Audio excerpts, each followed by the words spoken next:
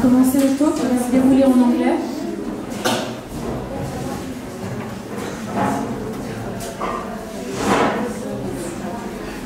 Good afternoon, thank you for being with us around the work of uh, multi-practice artist and curator River Lee, along with art critics Maranda Alces and myself, Agnès Violo, curator and writer. Um, so River, you were born in 1984 in Taipei. You're an artist and curator working across the fields of performatic, performatic and visual arts. Your work includes site-specific performance, live art, theater, dance and installation. You take cultural studies as a point of departure, the everyday and ritualistic of specific cultural contexts, the relationship between body and the spatial temporal, the bodily forms in between dance and performance are centrally concerned in your work as an artist and as a curator. Your performance work has been presented at festivals and exhibitions in Europe and Asia. Your curatorial projects have been presented by the Taipei Performing Arts Center, Taipei Fine Arts Museum, National Theatre of Taiwan, and so on. You currently live and work in Paris after you did a residency at Cité des Arts last year. Smaranda says, you are an independent art critic and writer. You write, amongst other, for supports such as Inferno magazine and Abra le Corps. You collaborate as a dramaturgist with choreographers. You live and work in Paris. So this talk is entitled The Body of Contemporary Arts as evoking a series of work we will talk about, as well as exploring issues for the body in the international art scene today, including the institution and the markets. Addressing performance and performativity in regards with your work as an artist, combining influences from visual art, theater, dance, also as a curator, questions can arise. How do you deal with the various issues of performative, performative practices in the exhibition making or when commissioned from an institution, as well as when it comes to a fair context like today? We had the chance to see um, earlier a piece you created after Tino Sehgal, after his piece entitled 2010. Um, how about reenactment or reflection or replay? Um, this specific piece worked as a, series of, um, or as a collage of uh, pieces while mixing influences between the East and the West, between the tradition and modernity, between the local and the global. How about the relationship between watching and being watched? How could performance become a kind of politics when politics become a form of performance? And eventually, as a curator, you also happen to invite in Asia French choreographers such as Boris Charmatz and Xavier Leroy um, for uh, upcoming projects in Taiwan. And so you tell us more about this side of your work as well. Now, I will let you, Smaranda, uh, start the conversation. Merci beaucoup. well, uh, in the beginning, I would like to, to say a few words also about this work we, we've seen, Um, so, um, there are some um, obvious references and uh, assumed references to works of Tino Sehgal as to works of Tino Sehgal is Agnes just told, um, especially Untitled 2001. Uh, there, there are references also to Xavier Leroy retrospective, and the title of the piece is uh, uh, a reference to Boris Charmatz's 20 dancers for 20 dancers for the 20th century. You you entitled your piece 20 minutes for the, the 20th century but Asia. So in between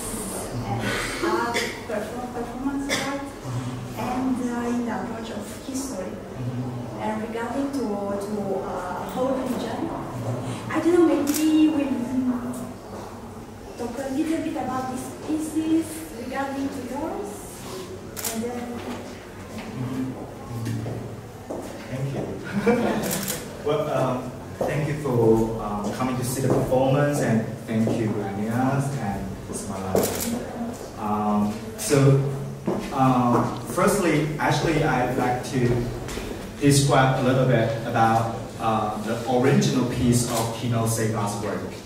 Well, it was actually, it's a coincidence that Tino Sehgal is doing solo exhibition at Palais Tokyo. Well, actually, the piece, uh, um, the piece of Tino Sehgal originally was called 20 Minutes for the 20th Century. But at that time, it was created in 2000, the year of 2000, before Tino Sehgal entered Museum Sophia. At that time, he was, dan- he was a dance maker working in Belgium, mostly with Alain Platel, Platel the, the choreographer. So it was actually a, a solo piece. It's a demonstration of the body and the dance history of the last century. But so in that piece, there was a totally naked performer dancing the many different sequences from the selected 20s, uh, uh, 20 choreographers movement, like Pina Bausch, like George Balanchine, like uh, yeah, like Martha Graham, uh, and Xavier Leroy, and Jérôme Bel in the last century, in the late, um, yeah, the 90s, yeah. So that was, for me, when I saw the work, um, I found it was very interesting to see this idea to address how we pursue the history of the dance and of course the history of the body. But very quickly I found it's totally European driven perspective. Of course. And I said this is not criticizing its American influence. Yeah, but I think I, I say this because I'm Asian. But so I very quickly I'm, I'm aware of the cultural difference. Then I started to look back. So if I want to talk about this kind of topic, the idea of how we address or how we describe the, the history of body and dance in some you know theater contest or in the fine art context in Asia, how can we talk about that? So I started to think about the, the idea of the post um, colonization, and it's quite actually, uh, actually necessary for me at least, or I say we Asian people to consider. And the difficulty is actually Asia is so complicated. Yeah. There are so Yeah. many cultural traditions Yeah, and yeah. so many historical uh, Yes. contingencies. Yes. Yeah. Um, but maybe it's interesting to remind that in uh, in Tino Sehgal and Charmatz's uh, pieces, uh, uh, a stress on uh, kind of subjective approach because the, the question arises uh, also which kind of history, which kind of narrative, there are dominant narratives, Yes. and uh, then there are uh, there are other uh, other paths to imagine. So Charmatz was talking about excavation, about uh, subjective excavation, about archaeology. So um, how do you... yeah, how do I how do I sort of this um, make this connection and imagination? In example. Yeah, yeah, generally, yeah. yeah. Thank you. And uh, so for me, the, the, the following question um, is about to study the context, and I very because um, because it's at the same time I spent some time in Europe doing my life art practice. so it's more related to the fine art context. But then I, because uh, it's actually um, it's all around the practice of body or the artist's body or how we treat body as a medium itself. So I look at dance practice from some choreographers and, and I found there has been a trend of archiving dance or how we talk about the, the, um, the live um, notation, for example, or the live documentation of performance in terms of the dance film. Um, so in Asia, I, I found, okay, if we want to talk about the, the body movement or the dance movement and how, uh, related to the political or social context, then we need to re-examine in the Asian context that what does modernity or what does modern, the term, mean to us. And so the truth, on fact, the, the fact is, um, the, the idea of modernity or the idea of becoming a modern society is a pretty, uh, is a extremely political progress because modernity is the term coming from the West and becoming a, mo mo a modern society is become is become to be westernized. So in this way, when we say modern dance, when we say contemporary dance, uh, when we say the traditional dance, when we define something modern, which means we want to separate and want, we want to we want to make the horizon to separate the what the traditional and what the modern is. And modern is representing um, the West, and the traditional representing, you know, the ancient time or or the idea of uh, disconnected with the progress. Yeah. So the idea of you know.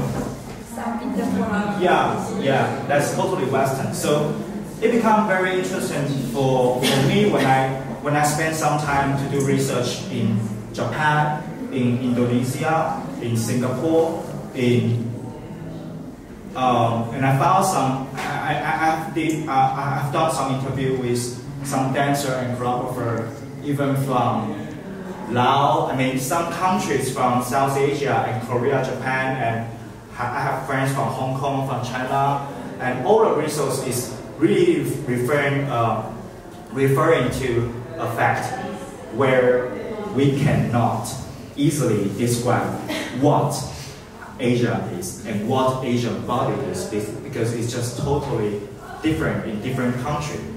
So it's not really like a big picture that we can project it on in Europe or in America that we find uh, easily that there is a stream and there is a trend and there is a different phases in some history, is historical um, definition. And um, maybe if we get to, to your work, you, you choose to start with uh, radio school exercise? Yeah, yeah. I, I don't know if you notice idea like, you know, the radio exercise is like doing uh, one, two, three, four, two, two, three, four. And it's really, um, I don't know if you, you can imagine that, but this kind of um, radio exercise was imported to Taiwan, for example, to Taiwan from Japanese colonization in like last century in the uh, 50s or 60s when they when Japanese uh, people um, built up the um, education system that every student you have to be embodied by this radio exercise. In the morning you before you take all your class in a long day you need to do that. And when I look at it, the, the history. Actually why Japan has this radio exercise is actually imported by America. Yeah. So you know, in this way, the cultural context is really related. And I and I just remember um, Smalanda say in Russia as well. Yeah. Yeah. So it's really for me. It's, so for me, it was um, it could be a very starting point for this performance to um, to show the the symbol of how a body um, how a body conduct itself. Yeah. And how the body stands for uh, political, ideological Yeah. needs. Yeah. So if you see the if you saw the performance, then you can see after the radio exercise, the dancer just become a ballerina. And that's also the idea when we talk about dance, when we talk about modern dance in Asia, the first image that we can picture is ballet. Yeah. So it's a little bit different um, idea because I know in, if I'm right, I mean in, in West, I mean European and American context, um, the idea of modern dance is trying to resist uh, ballet. Yeah. But in Asia, it's like we consider ballet is modern. Yeah. Here, this word uh, you just said, resistance. do you consider your work as a, um, using this uh, idea of the body as a tool for resistance? A little bit, a little bit. Uh, but my intention was not to very clear, clearly um, demonstrate the idea because I, I really cautiously consider it's blurry. Yeah, I mean, I mean, for example, um, the reason that I didn't show the specific sequence from specific choreographer in the piece is because it's not about the sequence and it's not about the specific um, choreographer's work. It's more about the methodology. It's more about the embody. So, so I so that's also the way that I try to bring some idea of resistance or demonstration, but I didn't do in a very extreme way. I just um, you know propose the dancer to show. Can you can, can we do some Martha Graham technique? Can we do some Merce Cunningham technique? But I did I, I don't say can we do some a specific piece of a specific choreographer. Yeah. And what's so interesting, what you, you've said about the, the idea of modernity uh, constructed in uh, opposite to uh, traditional. But in your uh, piece, you, you bring also some traditional techniques, you bring also some uh, popular culture. So how this patchwork is going on and Yeah. Uh, actually, I don't know if you know there's a dance movement called Pala Pala. Maybe you don't know, right? Okay. Pala Pala is very was very has become very trendy in late 80s to 90s. Pala Pala is uh, basically a movement. I'm not a dancer, sorry. the movement where the dancer was addressing like this and doing something like this. This is called Pala Pala dance. And Pala Pala dance is related to the disco culture from America. And that was im- uh, imported to China, Hong Kong, I mean, even Southeast Asia, Taiwan, Japan, Korea. And it was very interesting. Uh, if you look the, the, the uh, history, and you can find, you can find that um, in India, in India they have Bollywood, right? And actually the original shape of this kind of disco and pala pala dance is the original uh, point of Bollywood dance movement. So, yeah, so that's why I also select this movement in, in, in this work. Yeah. And what about also yoga and some traditional? Yeah, yeah. uh, Yeah, I, Chinese? yeah, I, I put some Chinese sports and um, Tai Chi and yoga, and because for me, uh, it's the way to blur the boundary of the definition of how we define dance. Yeah, but I want to also want to you know extend a little bit more about from the dance movement and to the to the body's uh, demonstration. So, and also, for example, the reason that I addressed uh, yoga movement and Tai Chi, Tai, tai Chi, Tai Chi movement is actually is related is is actually related and mixed with Martha Graham technique. Become another form in Asia, for example. So you see the that you saw the dancer was dancing Martha Graham movement, and then she turned to Tai Chi, and afterwards she made a combination of Martha Graham technique and Tai Chi movement doing another second. So it's, it's the way that how this kind of culture, different culture conference, uh, digital uh, cultural influence into the Asia context and, and we can imagine nowadays. And there is also some uh, phone maybe, or some dance hall. A little bit, dance hall, yes, Mm-hmm. yes, yeah. Yeah, because I, I, I wanted to um, capture some um, some dance contests related to common people.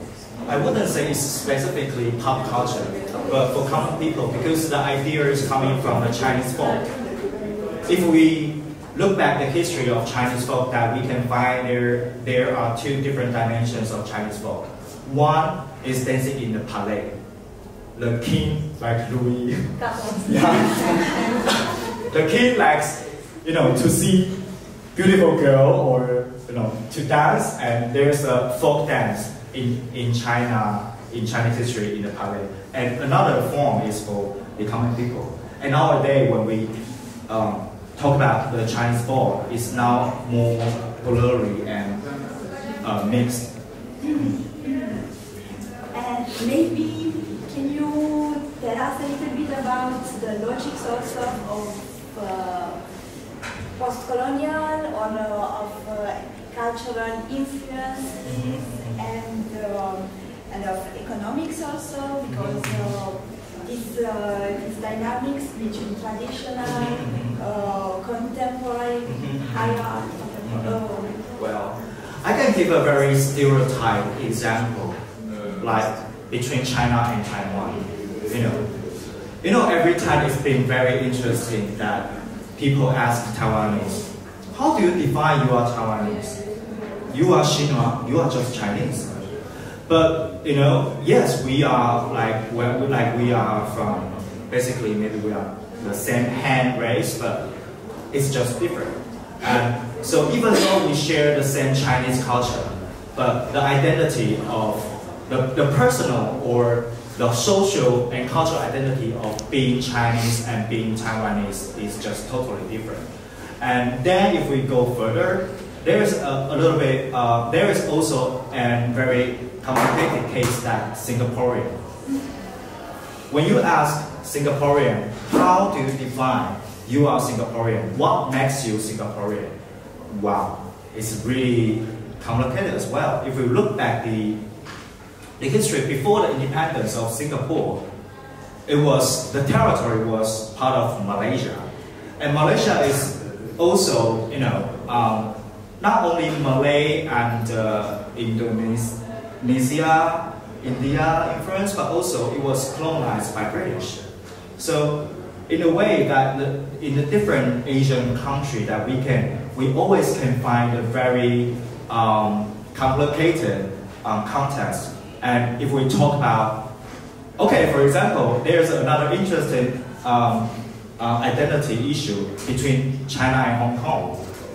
You know, like before 1997, Hong Kong, they say Hong Kong Gi, Hong Kong not Hong Konger, but Hong Kong Gi, Hong Kong people's identity. And, and Hong Kong's identity is just Hong Kong. And maybe Hong Kong's identity is more Western because it's related to the UK. But after the uh, 1997, now when we talk about Hong Kong, is more blurry. Some Hong Kong people still in, uh, insist they are Hong Kong Gi, but some are just saying, yeah, we are Chinese because officially we are part of China.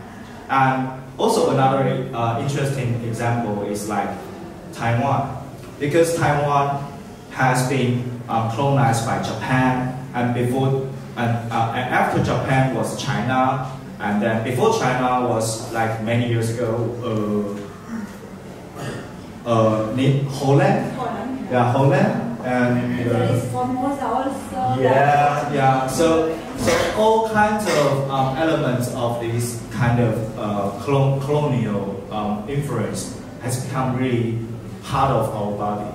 Yeah, so that, that's why uh, that's also a very interesting research that I've done, and I want to bring into this piece about the post-colonization situation. River, if I can ask, if I can bring you to um, uh, another piece you've done, speaking about territories and space. I'm thinking of the um, the piece you did for Manifesto. You did. Um, Kiss. You did. Kiss it better. Kiss it better. Ah, okay. um, where you explicitly address um, anthropological space or an anthropological use of space. Um, can you tell us more on your relationship with distance, space, or public-private, inside, outside? Um, well, there's a, a very um, fascinating practice for me is to do something in between. So, um, as Anya mentioned, Anya's mentioned, um, the there's Can you um, describe the piece, maybe? Yeah, okay. First of all. um, the, the, the, the key, uh, no, not the case. The, ti- the title of this work is called Kiss It Better. It's uh, English um, phrase, and uh, it, it means that uh, when you are like you are a child and when you get hurt, get hurt, and your mother just oh don't worry, you'll be better. I'll kiss you, kiss it better. I'll kiss it better. And then so I found it's very um, interesting idea that kiss in the the English language uh, seems to be some meaning related to end up something and to open up something new or something disconnected. And uh, so, and so firstly, I, I found kiss could be an interesting idea to make a performance. And secondly, I, I'm quite interested in the encounter with the audience. Yeah, and I very, um, I'm, I'm always thinking about how I can collaborate, collaborate with the audience members without um, being theatrical. Or you know, sometimes when we see some performance, I'm always the one of the audience that is so afraid of if the actors or the performers try to interact with me. I always feel, no, it's embarrassing. Yeah, but I just wanted to try. I just wanted to try if I can uh, address this idea and I can do some interaction with people. So the, the Kiss Better performance is um, each time it has been it has been done in very uh, different forms, but one form is one-to-one performance, but operated in a small group of people. So I approach uh, a, a person and I ask the person question: Which part of your body has been recently hurting, uncomfortable, or injured, emotionally or physically? Then the question needs to be answered and the, the, the, the, the audience member needs to think about if he or she wants to answer emotional dimension or physical dimension. So in this way, I've been kissing so many different kinds of part of body of the audience, yeah, and even us, yeah. And so it, and, and that's the way to reveal the personal history or the personal secret in a small group of the public. But at the same time, it's it's become a situation that in between the private and the public, between me and one person, but also between us and some other people in this small group. It's something about um, uh, healing rituals. Uh, Yeah, it's, it's the idea of talking about the relationship between emotional and physical pain, and some physical and a relationship between.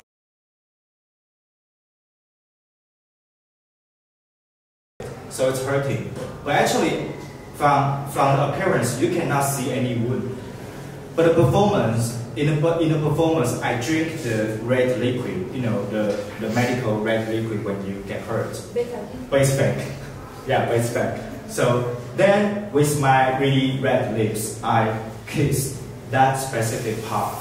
So the invisible wound has become emphasized after the kiss in the performance situation. Yeah. So it was also an interesting um, contrast. Contrast. Yeah. River, did you, uh, because hearing your uh, idea of connection between the, the artist and the audience, makes me think of uh, Tino's piece, The Kiss, where obviously the, the, two performers are replaying famous pieces of art history, yeah.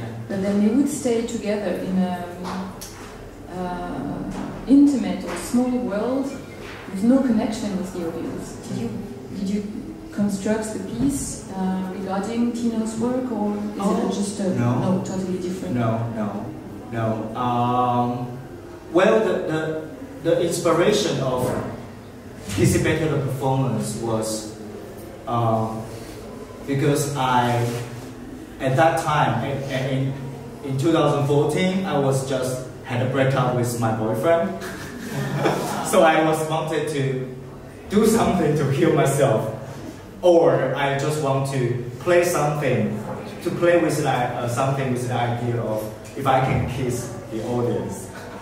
So that was different, not related to uh, Tino Sehgal's work. But now in uh, 2016, in, in the Encounter project, mm. uh, you are pushing further the reflection um, in, uh, about performance and exhibition, mm. about uh, art doing, art making, and the relationship to the audience. Mm -hmm. Maybe you can tell us something mm -hmm. about this project. Mm, thank you. Um, what what Smaranda mentioned was the the performative exhibition that I did in January this year in Taipei, Taipei Artist Village. Sorry. And that piece is called Encounter Project, the exhibition of our own. The our own means me, myself, and one audience member, which is a stranger.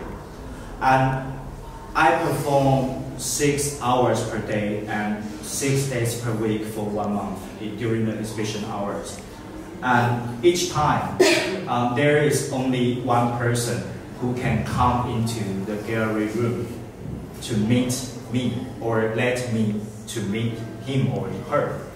And and there is no third pers person in the space. And the space is just totally empty. So the gallery room was uh, a first try to do that, that without any tangible artwork, but only two person in persons in the empty space. And my intention is about time that I want to um, shape the, the form of time and the form of performance related to the long durational discourse. So um, each person can come into the gallery room and I am just in the room. Maybe I'm standing or I'm sitting or I'm just lying down because maybe I can feel tired. And uh, the person just come in and we spend 20 minutes or more or less. But both of us don't know what will happen.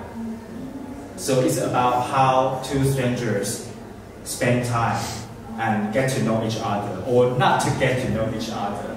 And maybe that was a very extremely embarrassing situation, which I accept as well, because I didn't predict any specific interaction that I need to do or I have to do with the person.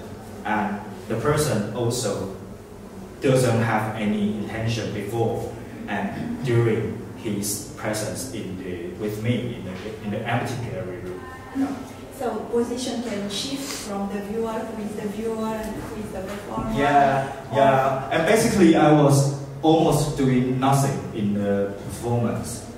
I mean, it's also the way that I want to try to do something related to nothingness, related to how we can try to say perform performance is some a way of performing nothing and performing nothing itself is the performance so for example i didn't create any situation like constructive, yeah, constructive situation. I didn't, I didn't create that I'm uh, some character, I'm, I'm a, a funny person or I'm an evil person. No, I'm just very neutral in the space.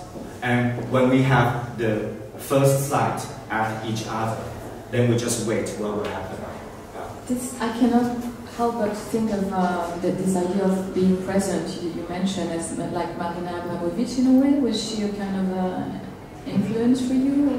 Uh, if I if I really want to say there's an artist influence my work, I would say Xie Deqing. Yeah, the Taiwanese performance artist, but based in New York. Yeah, um, because Xie Deqing, um, practice is about really about time and life.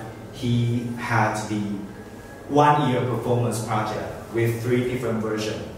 Uh, one of the version, which is also famous, is uh, uh, it's called rope. He was roping her, himself with another female artist for one year, and they just do because the, the work was in 70s or 80s, and it was all documented by photography. Yeah, and this kind of long durational and ritualistic practice has influenced me. That I would say that's pretty true. So, but the idea of encounter project, uh, I, I agree that people would really easily relate to what Marina Abramovic, the artist, present work. But I think there is a difference, at least, is about the relationship between the viewer and the receiver. Because um, Marina Abramovic's work in MoMA was she sitting with and confronting a person that they exchange a gaze.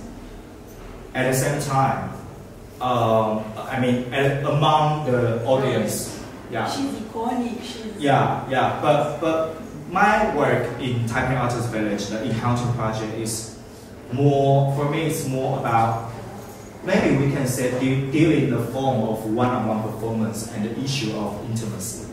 Yeah. The authority question. Yeah, yeah. Um, well, and to maybe to get back to uh, 20 minutes for uh, uh, the 20th century, but Asia, um, it would be also interesting at these practices that are um, looking to, to the Asian history, Asian embodied history, but also uh, European and American uh, contemporary art.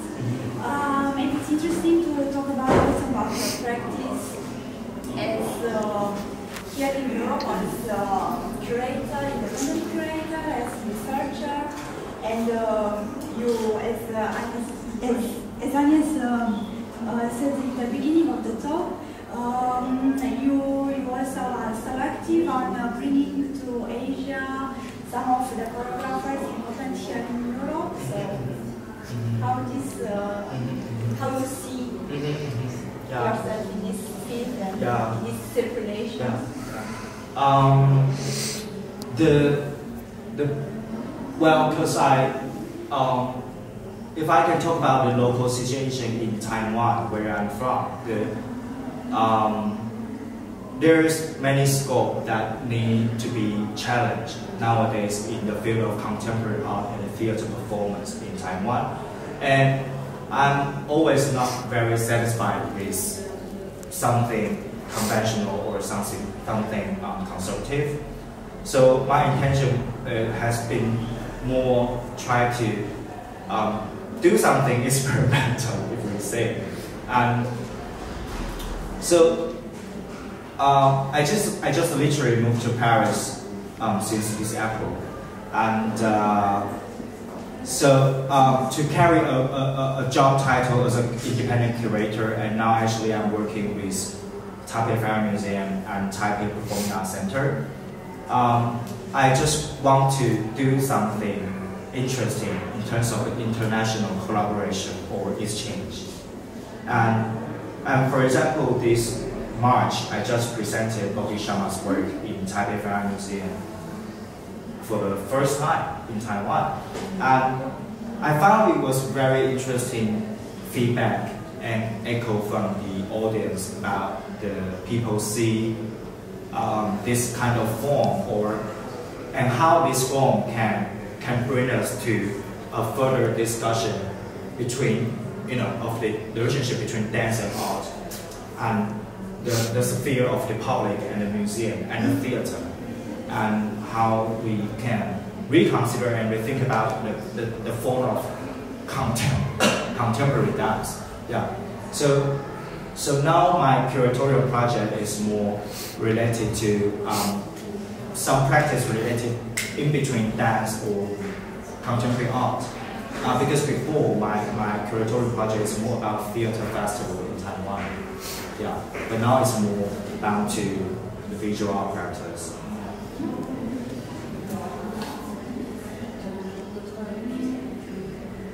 Maybe we can open the questions to uh, the audience. Would anyone like to um, ask anything to River or make any comment or no? Okay. Well, um, well, thank you, River. I think we got a more nuanced understanding of your practice, and we will be um, looking forward to knowing more about your upcoming projects here and in Asia. Um, thanks a lot. Thank you, Smaranda Olcèse, for your conversation. Um, thank you, everyone, and Thank you, uh, we wish you a, a pleasant uh, weekend.